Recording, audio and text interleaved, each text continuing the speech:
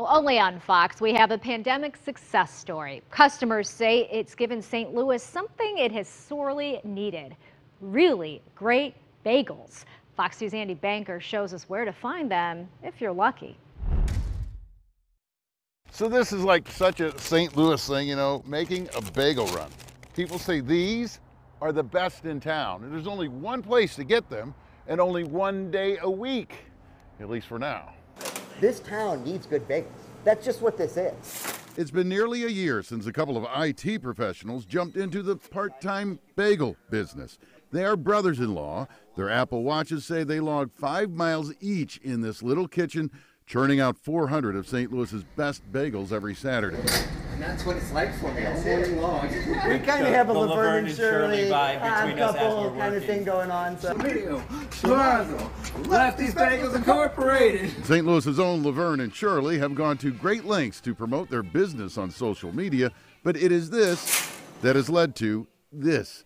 People lining up outside 30 minutes before the doors open at 9 in the morning.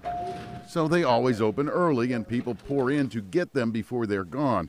This woman bought 42 for family and neighbors. Lefty's Bagels regulars certainly understand. These are the best in town. We limit ourselves um, to 12 a week. There's four of us at home, and it's great. I found out about it from a friend, and the bagels are amazing. Um, I grew up in New York, and it's the closest thing that I have found. We have a guy who, who tailgates. We bet like in, when it's nicer. He'll bring a folding chair, cup of coffee, he's got a book. He started making his own bagels at home when his favorite shop closed during the pandemic. Friends raved about them.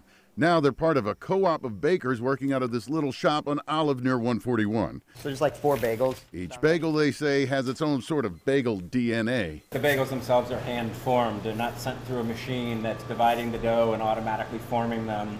They always sell out, so the guys plan to expand to six days a week in the coming months. Cheers, cheers, cheers. cheers.